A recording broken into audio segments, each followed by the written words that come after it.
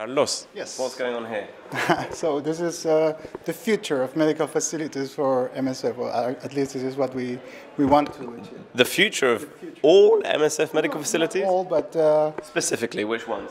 uh, the most complex ones. You know, we are uh, increasing in volume and, and complexity in, in our uh, projects, and so we need facilities that are adapted to those uh, uh, challenges. And so we need um, to have a certain standard, standard in construction, infection control, comfort for the uh, for the patients, and um, and and the rapidity uh, to deploy and to, uh, to uh, construct. Okay, so before, as a logistician in the field, I'd put up a tent, and then if I had some time, I'd get, not cut down some bamboo, uh, and I'd do some plastic sheeting. And if I really had some time, then I'd, I'd build a brick wall and uh, I'd put a tin roof on. Now, what do I do? So now this is a prefabricated modular uh, solution, uh, which adapts to uh, well, it's it uh, it has all of the MSF standards uh, on it uh, in terms of spaces, infection control, and and comfort. Um, and it's um, yeah, it's it's very easy to to install. It's very rapid, rapidly deployable. Okay, it's easy to say that, and it's easy to produce a nice video of it, but have you actually done it? We did it. We did it in Doro, uh, in South Sudan. Yeah. Uh, it's, it's actually one of the worst places to do something like this because of Why? accessibility, um, the, the lack of materials, and there's, there's no, uh, there are no shops uh, around where you can buy a single screw. So you go and you have to come with all of your supplies and with all of your uh, tools, uh, etc., to mount something that uh, uh, is going to last at least uh, 10 years. This, this building has a 10-year uh, warranty and 30-year uh, maximum lifespan. So Okay, so that's again unlike the tents, which is six months, one year maximum. Here it's a much longer term view. And how quickly does this thing go up in Doro? So one of these modules, uh, every module, we, we call them basic modules. Uh, it's uh, a 90 square meter building, and uh, you can put one up in, in a week with eight people, un, unskilled labor, and one person who knows, one technician who knows how to, how to assemble it. Okay. Understood. And I can see you've got some 360 goggles going on here. What's that all about? Is it just to show off the tool, or is there a, is there another reason behind this? Yeah, so we installed a prototype in, in Brussels uh, to see how, how um, difficult or, or fast was the, the installation. And, um, and we filmed a video, a 360 video inside of the, uh, of the building with a time-lapse camera. And so you can actually see the, the whole construction, the, the construction process uh, in all its phases uh, in this uh, five minutes video. Did you upload that onto YouTube somewhere? Uh, it is in the MSF uh, site. You can find this video and another video which explains a little bit the concept. Um, but yeah, you can you can watch it here or in the in the internet. Okay, Dr. Bargavi, the end of working in hot, smelly, dusty, sweaty tents. Does this not excite you? which sounds absolutely fantastic. And also, I think as a doctor, if you're very familiar with the space layout within a within a, a facility, I would think that that would reduce a fair amount of adverse event risks. You keep talking about infection control. Can you tell me a little bit about how this design has worked to reduce infections? Yeah, well, the idea is that, uh, you know, normally when you build in the field, sorry, when you build in the field, um, you don't have, the, the, the quality of the materials that you find there is not always the best, and the quality of, of the finishings of the building depends on the labor that you find in, in place.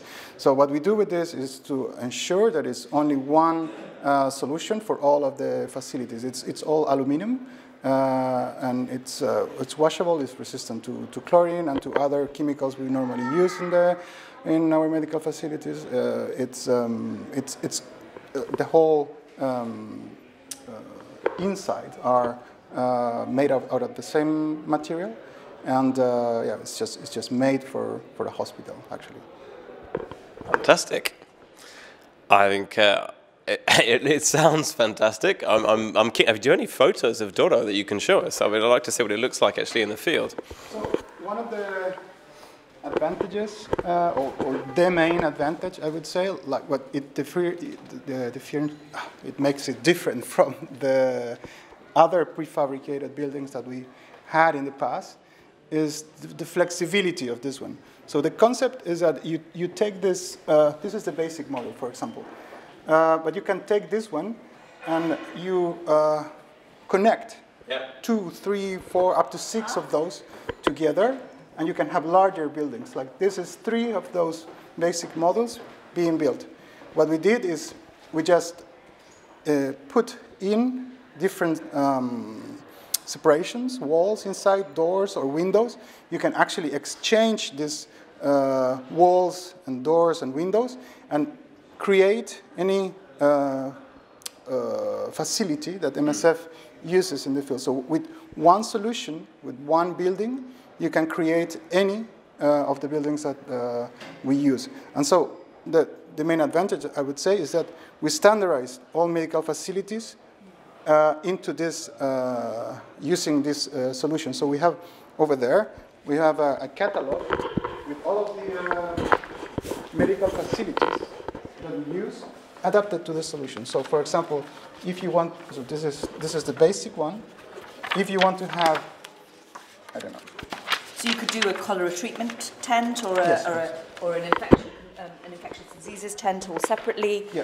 You Well, could use it's- maternity. it's not a tent really. It's, Oh, sorry, it's, a, it's a, a building. it's a Apologies, you're right. I've, it's clearly been ingrained in me. So for example, this is four of these basic models, and you can have an OPD. This is this is this Outpatient all- department. Outpatient department. All these buildings are, are uh, thought to, to be part of a hundred um, facility uh, hospital. Uh, an emergency department, for example, it's four of those models, and the idea is that with the same solution, you can have anything. We have the, the full set, so emergency departments. Um, another emergency depends on, on the scale, an operation theater. Carlos, this looks this looks quite technical. I mean, as a loggy, I, I knew how to cut down bamboo and stick it up. That wasn't so hard. C- could I do this? If you have one technician uh, with you who is uh, specialized on the construction, yes. I was in Doro.